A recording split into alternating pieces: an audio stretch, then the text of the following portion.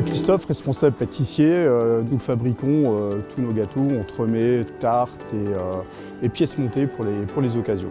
Donc pour la préparation d'un gâteau, pour commencer, nous avons des, ingrédients de premier choix.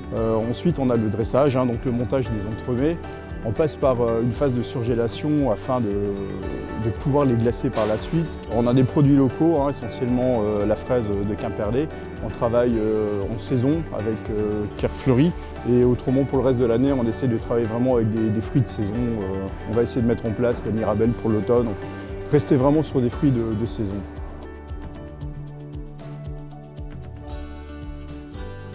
Tous nos pâtissiers sont issus de l'artisanat. Ils ont un CAP de pâtissier, ils réalisent toutes les pâtisseries de, A à Z. L'amalgame entre euh, l'industriel et le surgelé, chez nous ça n'existe pas. On, surgèle certes pour euh, faire un bon glaçage, mais tous nos gâteaux, euh, aucun gâteau n'est industriel.